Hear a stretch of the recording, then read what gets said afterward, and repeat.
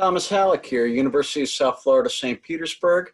Today's three-minute lesson from a road course of American literature is on the sovereignty and goodness of God, otherwise known as the captivity of Mrs. Mary Rowlandson.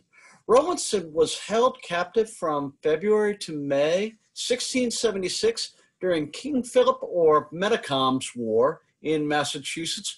Her account which became a classic example of the women's captivity narrative, was issued with a preface and running editorial commentary by the minister Increase Mather.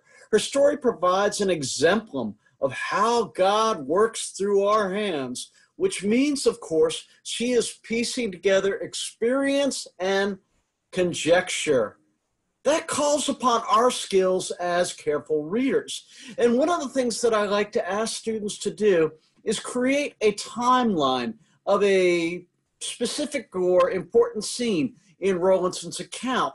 So what I'd like you to do right now is take out a sheet of paper and give me an x-axis and a y-axis going across and then going up and over to indicate the shifts in time and then also place or perspective in the account.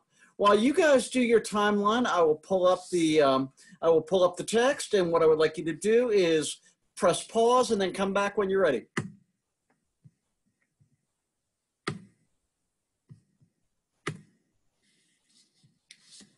So notice how it starts with the here and now.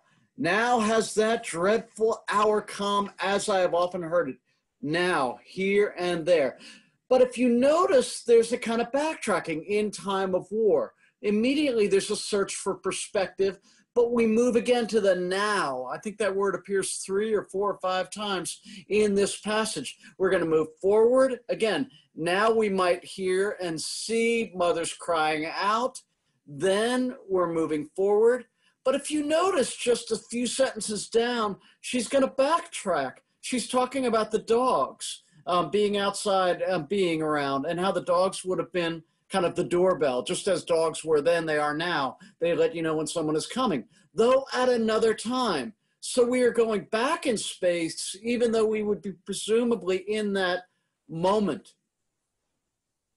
Again, we come back to the perspective, the more we acknowledge his hand. So we leave the immediacy, and now we are speaking for what God says. Once we've established that, we come back to the here and now. But we, we go out of the house, had his leg broken. Yet here we also reach one of the first crises in here. Rowlandson has gone outside, but she's reporting upon what happened in her bro- to her brother. Bullets flying all over the place, chaos. How do you know? That leads to an even more problematic scene where she tells the story of her sister. She, her sister is about to die and she goes back 20 years. She lay under much trouble on spiritual account where I have the double arrow, and then it pleases God, so it moves forward a little bit in this religious conversion, and then more than 20 years after, towards the bottom again. Finally, we get to the but to return, taking us again to the specific point. So, what's in this? I would like in courses in early American literature for you to read very, very careful. Really, read like a cross examiner, read like a police officer, read like your life depends upon it, and you can't trust anything.